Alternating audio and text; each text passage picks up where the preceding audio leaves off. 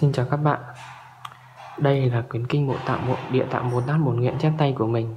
Mình sẽ lật kinh ngay Cho nên nếu bạn nào muốn đọc thì hãy bấm nút dừng lại nhé.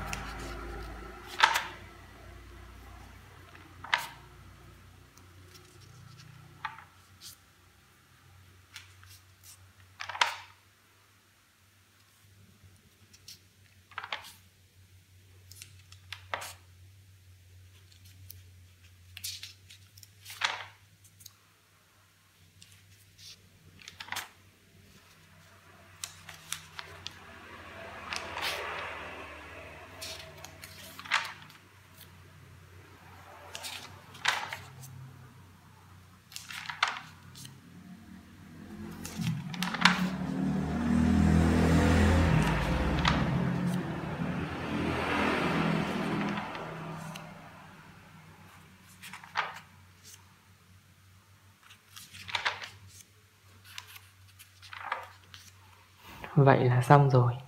Chúc các đạo hữu an lạc trong chánh pháp. ha ha ha,